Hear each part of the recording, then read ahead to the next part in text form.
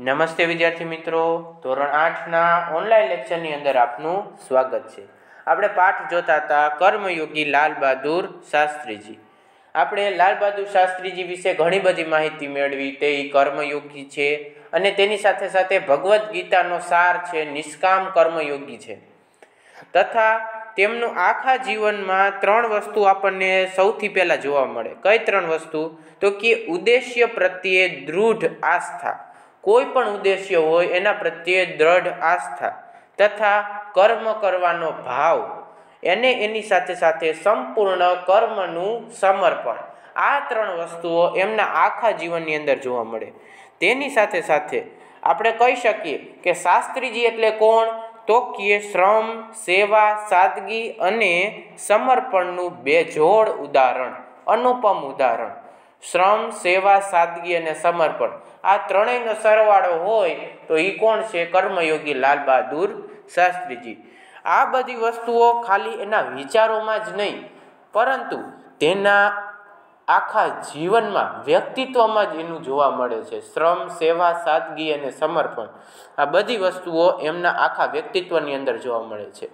આ આ બધી જ વસ્તુઓ આપણા લેખકજી કોણ છે? તો કે આપણા લેખકજી છે શંકર દયાળ શર્માજી.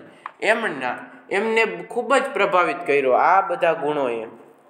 ત્યાર પછી આપણે આગળ જોઈએ, મુજે લગતા હે, એટલે કોને? લેખકજીને લાગે છે કે ઉનકે ચરિત્ર કા યે બહુ બડી વિશેષતા હે, એટલે કે તેમના ચરિત્રની આ સૌથી મોટી વિશેષતા છે.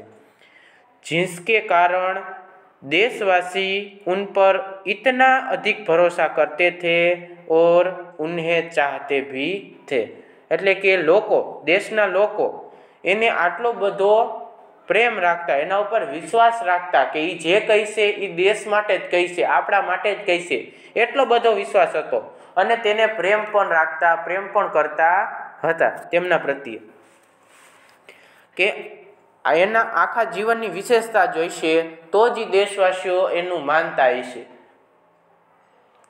पंडित नेहरू जी की समृद्धि राजनीतिक विरासत को संभालना और उसे आगे ले जाने का काम कम कठिन नहीं था पंडित जवाहरलाल नेहरू ભારતના પ્રથમ વડાપ્રધાન તે એ વિરાસતને જાળવી રાખવી અને એને સંભાળવી એનો વારસો જાળવી રાખવો એમણે જે કામ કર્યા હતા એની કામ આપણે દોહરાવી દોહરાવાનું નથી પરંતુ એવા ને એવા કામ કરી રાખવાના છે એવું એની વિરાસતને આગળ વધારવાનું કામ ઓછું કઠિન નહોતું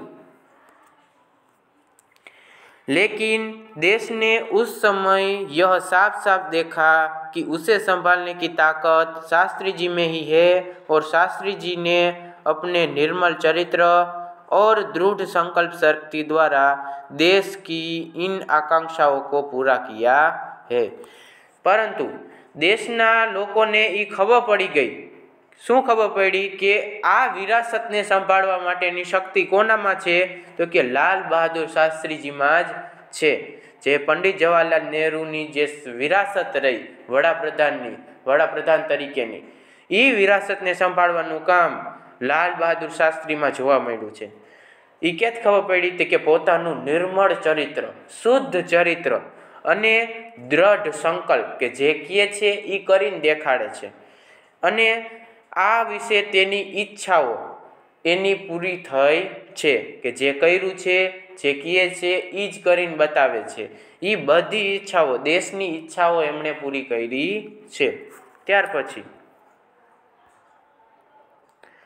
शास्त्री जी की एक सबसे बड़ी विशेषता यह थी कि वे सामान्य परिवार में पैदा हुए थे આ શાસ્ત્રીજીની સૌથી મોટી વિશેષતા હતી કે જેઓ સામાન્ય પરિવારમાં જે જન્મ પામેલા હોય એ સૌથી સારી વિશેષતા ધરાવતા હોય ગાંધીજી સામાન્ય પરિવાર કબીર સામાન્ય પરિવાર નરેન્દ્ર મોદીજી સામાન્ય પરિવાર બધા સામાન્ય પરિવારમાં જન્મેલા છે અને વિરાસત કેવી વારસો કેવડો મોટો છે એમનું વ્યક્તિત્વ કેવડું ઊંચું છે એટલે સામાન્ય પરિવારમાં જન્મેલા છે એ એની સૌથી મોટી વિશેષતા હતી सामान्य परिवार में ही उनकी परवरिश हुई थी और जब वे देश के प्रधानमंत्री जैसे महत्वपूर्ण पद पर पहुँचे તબ ભી વહ સામાન્ય ही બને રહે નકર ઘણા લોકો શું થઈ જાય છકી જાય કે મારી પાસે પૈસા આવી ગયા હું દેશનો વડાપ્રધાન છું હું ધારું તે કરી શકું છું દેશની ઉથલ પાથલ કરી નાખવું, પણ હું દેશનો વડાપ્રધાન છું. પાંચ વર્ષ સુધી મને કોઈ ડગાવી શકવાનું નથી. પરંતુ લાલ બહાદુર શાસ્ત્રીજી સામાન્ય જ બની રહ્યા. એ એની સૌથી મોટી વિશેષતા હતી કે પરિવારનો, સામાન્ય પરિવારમાં જન્મ થયો, પાલન પોષણ સામાન્ય પરિવારમાં થયું, અને જ્યારે પ્રધાનમંત્રી બન્યા, તો પણ તે સામાન્ય જ બની રહ્યા. विनम्रता सादगी और सरलता उनके व्यक्तित्व में एक विशिष्ट प्रकार का आकर्षण पैदा करते हैं કે આ બધા જે ગુણો રહ્યા એ વિશિષ્ટ પ્રકારનું આકર્ષણ પેદા કરે છે કે ઉડી નાખે વળગે એવું આપણને જોવા મળે છે વિનમ્રતા સાદગી અને સરળતા જેવા વિશિષ્ટ गुणों इस दृष्टि से शास्त्री जी का जीवन का व्यक्तित्व बापू का अधिक करीब था और यह कहना न होगा कि बापू से प्रभावित होकर ही सन 1921 में उन्होंने अपनी पढ़ाई छोड़ दी थी કે આ દ્રષ્ટિએ જોઈએ તો તેમનું વ્યક્તિત્વ ગાંધીજીના વ્યક્તિત્વથી ઓછું ઉતરે એવું નહોતું ગાંધીજીનું વ્યક્તિત્વ જુઓ અને લાલ બહાદુર શાસ્ત્રીજીનું વ્યક્તિત્વ જુઓ ભાઈ એકબીજાનો અરીસો છે જેમ અરીસા સામે આપણે ઊભા રહી તો અરીસો આપણને પ્રતિબિંબરૂપ થઈ જાય છે એવી જ રીતે લાલ બહાદુર શાસ્ત્રીજીનું જીવન ગાંધીજી જેવું જ છે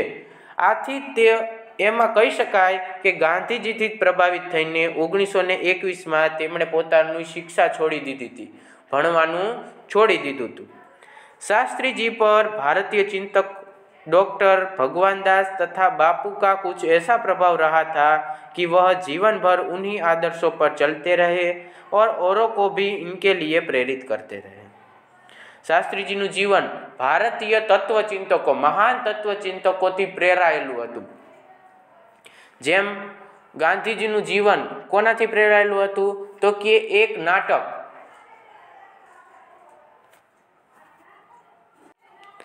સત્યવાદી રાજા હરિશ્ચંદ્ર. એ નાટકથી પ્રેરાયેલા હતા અને કોઈ દી ખોટું બોલવું નહીં, એને એક નિર્ણય કરી લીધો હતો. એનાથી પ્રેરાયેલા હતા. તેવી જ રીતે લાલ બહાદુર શાસ્ત્રીજી ભગવાન દાસ, ડૉક્ટર ભગવાન દાસ, આ કોણ છે તો કે મહાન તત્વચિંતક છે. તથા બાપુ, તો બાપુ પણ મહાન તત્વચિંતક હતા, મહાન અર્થશાસ્ત્રી હતા. આગળ તમે અગિયાર બારમાં અભ્યાસ કરશો એટલે આર્ટ્સમાં એક અર્થશાસ્ત્ર વિષય આવશે. એ અર્થશાસ્ત્ર વિષયમાં પણ ગાંધીજીએ ખૂબ મહત્વનું યોગદાન આપ્યું છે. આવા મહાન વિચારો ધરાવતા તત્વશાસ્ત્રીઓ તત્વશાસ્ત્રીઓનો પ્રભાવ કોનામાં જોવા મળ્યો તો કે લાલ બહાદુર શાસ્ત્રીમાં જોવા મળ્યો? લાલ બહાદુર શાસ્ત્રીજી તેમના બધા જ વિચારોને જીવનભર યાદ રાખ્યા, પોતાના જીવનમાં ઉતાર્યા. આપણે અગાઉ જોયું હતું, શ્રવણ, મનન અને નિધિ ધ્યાસન નિધિ ધ્યાસન એટલે શું? આપણે જે સાંભળેલું છે, આપણે જે વાંચેલું છે, આપણે જે મનન કરેલું છે એ જ્ઞાનને આપણા જીવનમાં ઉતારવાનું. તો લાલ બહાદુર શાસ્ત્રીજીએ પણ નિધિ ધ્યાસન કરેલું છે પોતાના જીવનમાં પ્રભાવ ઉતાર્યો છે લાલ બહાદુર શાસ્ત્રીજીએ ડૉક્ટર ભગવાનદાસ અને બાપુના જીવનના જે ઉચ્ચ વિચારો રહ્યા એને પોતાના જીવનમાં ઉતાર્યા છે પ્રેરિત કરતા રહ્યા છે પોતે પણ પ્રેરિત થયા છે અને બીજાને પણ પ્રેરિત કરતા રહ્યા છે शास्त्री जी के संबंध में मुझे बाइबल की यह उक्ति बिल्कुल सही जान पड़ती है कि विनम्र ही पृथ्वी के वारिस होंगे શાસ્ત્રીજીનું જીવન એનું આપણે જોઈએ તો બાઇબલની એક ઉક્તિ કે વિનમ્રથી પૃથ્વી કે વારિસ હોગે. કે જે વિનમ્ર હશે તે જ પૃથ્વીના વારસદાર થાય છે. બીજા કોઈ થાય છે નહીં. એક સરળ ઉદાહરણ આપણે જોઈએ કે એક ઝાડ, ઝાડમાં જ્યારે ફળ આવે છે, ત્યારે ઝાડ કેવું બને છે? નીચું નમે છે. વિનમ્ર થાય છે. આપણે કહી શકીએ કે એની ડાળીઓ રહી વજનદાર થઈ જાય છે. જેના લીધે શું થઈ જાય? ડાળીઓ નીચે પડે છે. નીચે નીચે તરફ આવે છે.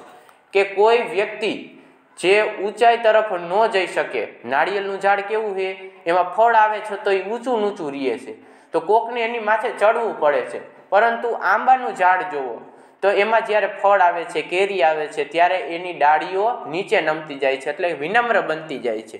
તો વિનમ્ર જે બનશે, તે જ પૃથ્વીનો વાયસદાર થાય છે. આપણે ગુજરાતીમાં કવિતા ઓલી એક કહેવત પણ છે, નમે એ સૌને ગમે. જે નમશે એ બધાને ગમશે. એ જ પૃથ્વીનો વારસદાર થાય છે. તો આટલું રાખીએ. આગળનું આપણે આવતા લેક્ચરની અંદર જોઈશું. ઓકે આવજો.